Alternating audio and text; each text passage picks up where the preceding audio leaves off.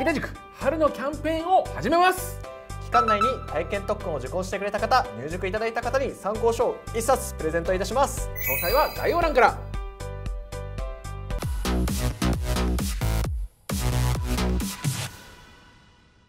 皆さんこんにちは。武田塾の清水です。川野です。で今回なんですけれども学校の通信終わるの待ってたら受験積んじゃう問題。まあ私って日本史関西世界史ですよね。どれぐらいに高校3年生で通史いわゆる授業って全部終わりましたか？通知はあの年内にギリギリ終わったんじゃないかなって確か記憶がありますね。12月ぐらいにはい。近現代の一番最高が終わったみたいですか、まあ、私もあの戦後史ですかね日本史でいうとこう、まあ2学期っていうんですかね、はい。夏休み明けから年末にかけて終わったんですけど間に合わないです。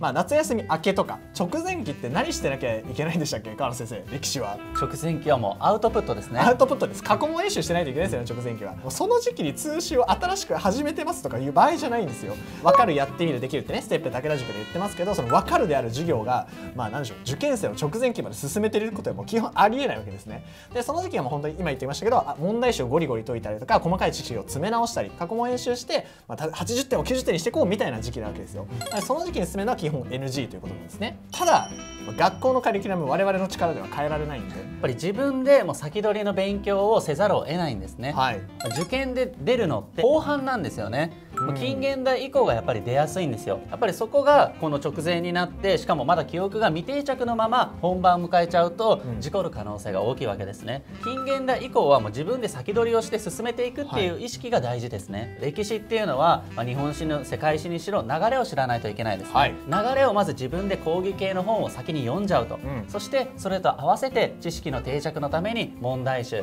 こちらのなぜと流れが分かる本、まあはいこの辺りでしっかりと知識の定着を図っていくっていうのがポイントですね。これ高校ね卒業した人とか予備校行ってる人とか分かると思うんですけど夏とか秋になるとみんなこのことに気づいてくるじゃないですか。あれこれ終わんなくね？みたいな。っていうなってくると急に高校内で実況中継が入り出すんですよ。だから実況中継でねあのこのこの河合塾ね素晴らしい参考書シリーズなんですけど本当に河合塾のその授業を全部書き起こしましたみたいなやつなんで基本はこれを読んでしまえば一人でどんどんどんどん進められちゃうわけですよ。授業を待ってる必要一切なしです、なのでこういう講義系参考書シリーズですねをもとに、まあ、自分で、まあ、分かるの部分は進められますし覚えるってところは授業とか関係なしで結局自分でやらなきゃいけないので流れをどんどん自分で進めつつそれに伴ってアウトプットインプットっていうのもどんどん自分で進めちゃうってことは、まあ、参考書学習をすればどんどんいけちゃうわけです。流れとあとその一通りの記憶の定着っていうのは夏までには絶対に終わらせてほしいんです夏で一通り終わらせたら、まあ、そこからねもう過去問とか一回触れていってで自分の知識曖昧なところを確認してそこをまたしっかり詰めていくっていう作業の時間をしっかり取れるので、まあ、夏までには終わるようにペースを考えてみてください。でこれ自分で進める時の注意点が1個あるんですけど、知識量をセーブしてほしいっていうのが1個あって日東コマ線とか共通テストぐらいで必要な知識までをとりあえず一周仕上げましたっていうものの負荷と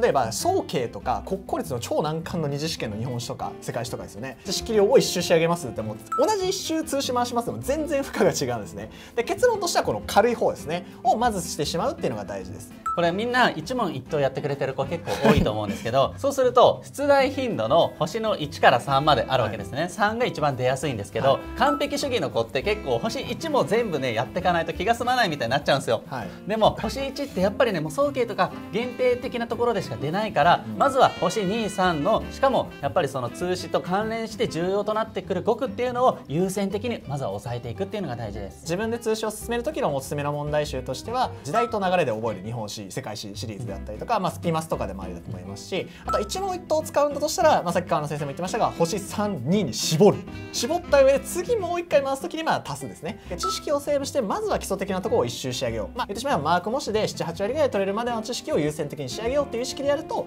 結構うまく通史を自分でも回せるかなと思います。あのまだ4月なんでねあの皆さん余裕を持ってね社会に関してはちょっと見通してるかもしれないですけど気づいたらやべえってことにならないように今回春の時期にこの動画をお伝えしました、えー自分でもなるべく早めに世界史日本史通史、まあ、他の社会でもそうですが進めるようにしてください。今回は以上です。武田塾では受験相談を全校舎で受け付けております。校舎でもオンラインでも対応してます。詳しくは概要欄から